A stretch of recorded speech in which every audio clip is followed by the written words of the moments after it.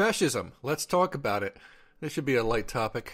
Fascism is a slippery word, not because it's hard to define, but because people who want to obscure what fascism is or hide their connection to fascism have an investment in making fascism mean something besides what it is. Fascism is not outlawing salt and unhealthy foods.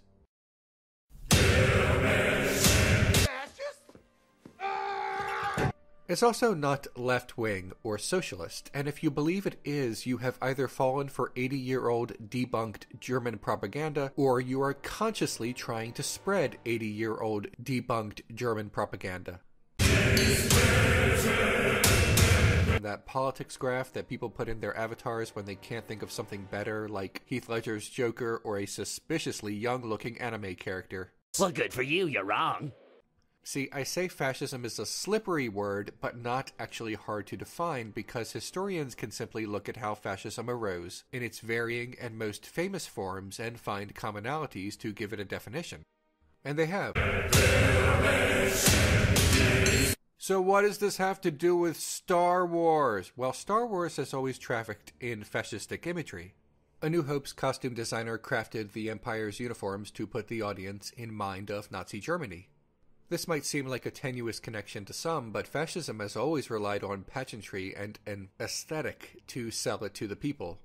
In film, visuals are everything, and even if Grand Moff Tarkin never turns to the camera and lays out the ideology, origins, and core values of the Empire, and how they relate to Umberto Eco's criteria for fascism, the visuals alone are the language in which Star Wars tells the audience roughly what the Empire believes. In the original trilogy, there isn't a lot of explicit focus on what the Empire believes, what their core values are. Palpatine just believes in the dark side.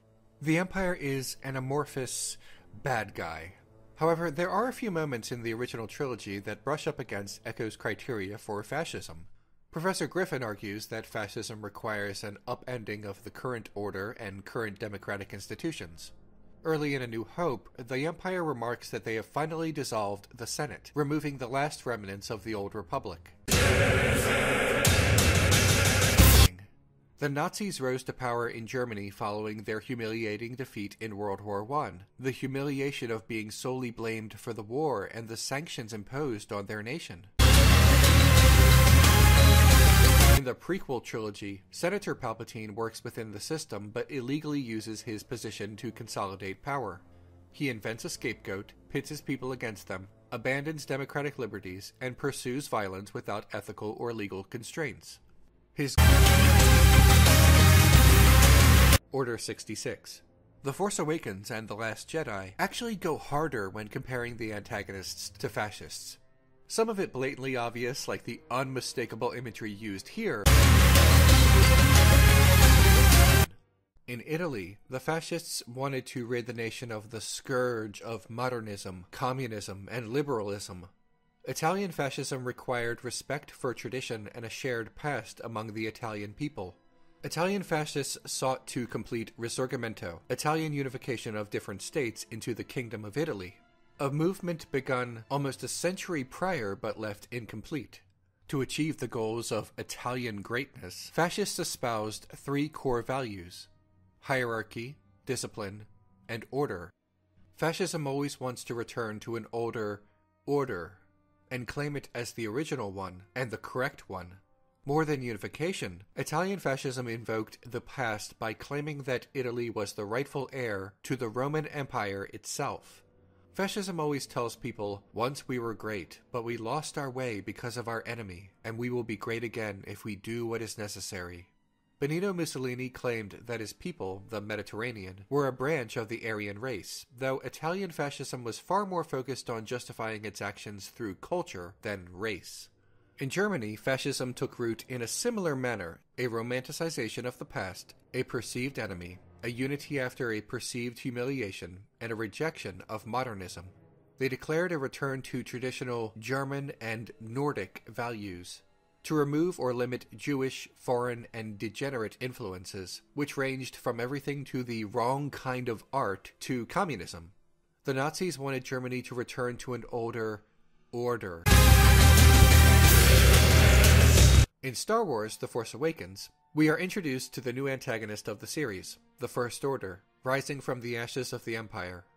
Fascists love to connect themselves to the great deeds of the past and the great men of history, like this guy thinks he's a knight or something, bravely defending the white race from, I don't know, Mexicans? Fascism requires a past, a false history of being wronged because of the envy of others, the envy of their greatness. This is not some new order, no, no, no, no. This is the First Order, an older order. The originals, those tied to the greatness of the past, even if that greatness never happened. The Galactic Empire was built on a lie, oppressed the galaxy, abolished democracy, and was defeated by a ragtag group of rebels. However, the First Order's rhetoric is eerily reminiscent of how fascism begins. Once we were great, we lost our way because of our enemy, and we will be great again if we do what is necessary. What is necessary to fascists includes the eradication of degenerate influences. The First Order carries this out by annihilating the Republic planets. The First Order is obsessed with the past because they have to be, otherwise, their narrative falls apart. He's the bad guy. What he says is not the message of the film. Instead, the past is a teacher, failure a teacher. Yoda says it himself. The greatest teacher failure is.